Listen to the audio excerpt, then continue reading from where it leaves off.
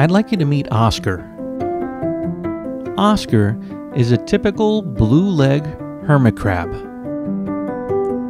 But the way that he decides to live his life is anything but ordinary. Unlike most crabs, who live on the ground forever foraging, Oscar has always had higher aspirations.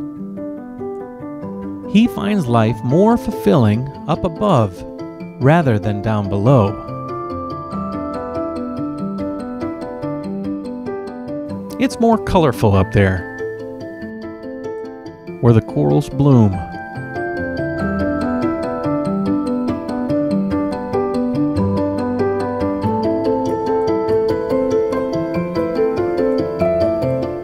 And where he can look upon his fish tank friends.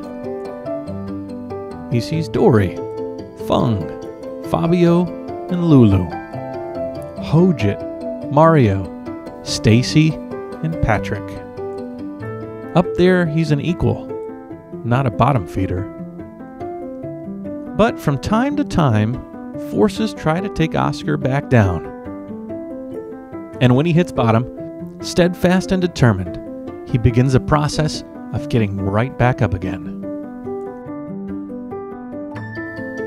He crosses soft coral patches and climbs purple ledges, crossing, in his world, great distances to reach where he knows he belongs.